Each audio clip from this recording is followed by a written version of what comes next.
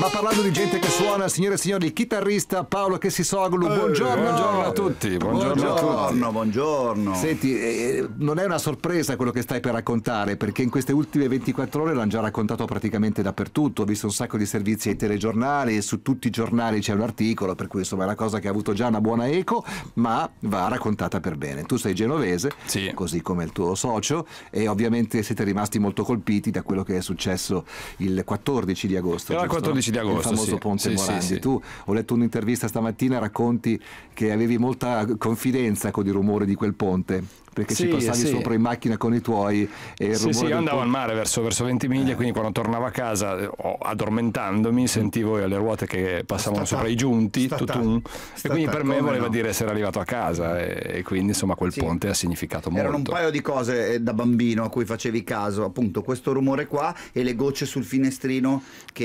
correvano no? In orizzontale. E ti fermavi Sì, lì, e ti fermavi lì. esattamente. Pu- purtroppo anche quel giorno lì pioveva moltissimo. Sì, no? vero, Il- vero. Il giorno... Dove eri quel giorno lì? Era Io quel giorno lì Uniti, vabbè, ed è il motivo tu, per eh. cui in realtà forse è nata questa canzone perché sentendomi così lontano ero, eh, mi sono sentito irrazionalmente in ritardo e inutile, certo. incapace di, perché la cosa era già accaduta e quindi sono entrato in questa libreria ero vicino a San Francisco c'era un pianoforte nonostante che sia chitarrista Eh, ho trovato un pochino quello. insomma compongo anche lì e mi sono seduto e le note sono proprio cascate sul- sui tasti senza poi sono tornato a casa a Milano e ho detto ma proviamo a lavorare su questa cosa qua e poi da lì è incominciato tutto Eh, il tutto significa una canzone che tra pochi istanti ascolteremo, che si intitola C'è da fare e, e alla quale hanno aderito 22 cantanti. sono poi- 25 credo 25. Sì, Addirittura c'è uno che si era ritirato. Eh? No, beh, c'è Ivano Fossati che aveva smesso di cantare da Ah, qualche davvero, anno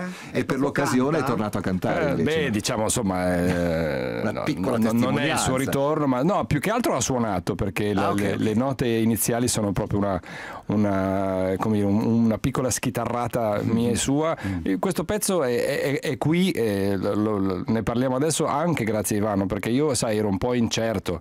Gli scrissi una mail, eh, sai come quando butti un sassolino nello Mm. Certo. stagno, ma- e dopo due ore mi rispose, mi dice guarda che questo pezzo secondo me funziona.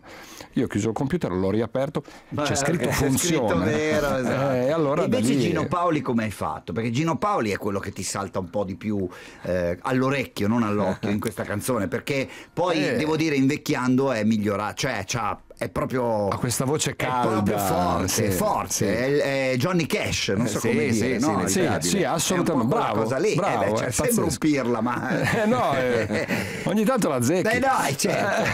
Sai cosa ti dicono? Quel Kissinger lì è forte, no? Sì, e quindi ha aderito facilmente anche Gino. quindi, sì. sì, no, ma hanno tutti aderito con grande certo. entusiasmo. Ovviamente poi metterli insieme in 25 non, non era facile, però ognuno Dove l'avete incisa la canzone? L'abbiamo registrata a Radio Italia che ci ha Ah, sostenuto ah, ok, e gentilmente ok. ci ha dato i suoi studi. A saperlo non lo invitavamo. no, scusami. Giorni- Ah, eh, Volanti è un amico, mettiamola così. Potevo glissare, ma. eh, No, no, no, no, no, bene, no, no, aspetta, tu rifammi la domanda. Dove l'avete incisa la canzone? Ma radio. Eh, Eravamo in tanti e è Io stato voglio bello sapere però prima di ascoltarla il, il file che tu hai mandato a Ivano Fossati era già compreso di musica e testo o era provvisorio? Eh, C'era già la musica e il testo, l'arrangiamento era molto, come dire, primordiale perché l'avevo fatto Ti a ha casa. cambiato qualcosa suggerendo del no, testo? No? No, ha evitato di mettermi in imbarazzo, ha detto è bello così, un- mi ricordo che ha scritto è bello, adesso la parola es- esatta non la ricordo, è bello così cru- crudo, ha detto una roba Ah, del detto genere. crudo? Sì, Ma è sì. vero che, scusami, prima di partire, è vero che ci hai lavorato tanto, tanto sul testo? Cioè la Sul- musica è come uh, Sì. velociss- velocissima. Sì, anche la musica, poi insomma la parte di tornello, uh, Eh. l'arrangiamento ha, ha preso un po', però sul testo sì. perché c'erano delle rime che non eri tanto convinto. Sì, sì, e poi c'erano delle cose che volevo dire, mi, una- dico anche una cosa che fa ridere. Eh. Mi, mi piaceva mettere, mettere dentro la parola bisagno, Sì? Quindi fare questo primato di parlare certo. di un fiumicettolo che Chiaro, conosco- chiaro. conosciamo Beh, solo a Genova. Beh, beh, beh, beh, però è diventato famoso Eh. perché Bisagno più Eh, volte Bisagno è uscito. è quando- È quando esondato. Più volte è uscito. E poi mi Quando piaceva va fare Carlo Magno, Eh, Carlo Magno, e, sì. e che rima ci hai fatto? una, una assonanza con un mugugno che è Ah, questo beh, certo, genovese. vostro al e quella lì l'ho 100%. cercata più elegante così. Allora ce l'ascoltiamo. Grazie. Che si Soglu and Friends, che già soltanto per questo, Eh? ragazzi. Per Genova, c'è da fare.